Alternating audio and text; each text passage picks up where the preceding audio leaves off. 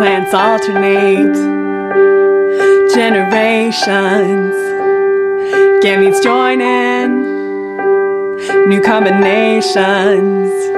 It's a new sporophyte making spores in meiosis. Spores may only have 1n, but each chromosome's focused.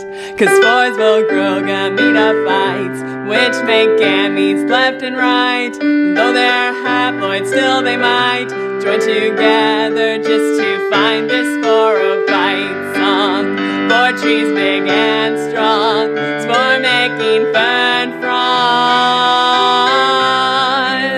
They're diploid, one plus one chromosome copies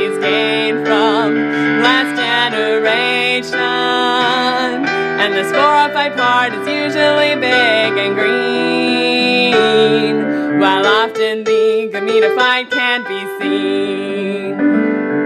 Except for moss and liverwort, they're seedless and non-vascular. They make gametes, the green part makes gametes. And the gametes swim through the raindrops. These sporophytes go right on top, set them free. Let those spores go free, and spores will grow gametophytes, which make gametes left and right. And though they're haploid, still they might join together just to find this sporophyte song. For trees big and strong, spore making fern fronds. They're diploid, one plus one chromosome copies gained from last generation.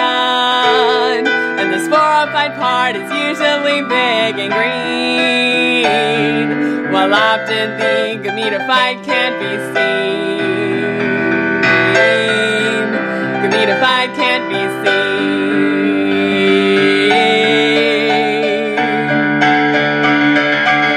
Plants alternate generations.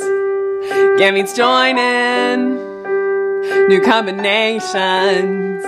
It's a new sporophyte, making spores in meiosis. Spores may only have 1n, but each chromosome's focused. This sporophyte songs for trees big and strong, spore making fern fronds. One plus one chromosome copies gained from last generation. And the sporophyte part is usually big and green, while often the gametophyte can't be seen. No, often the gametophyte can't be seen.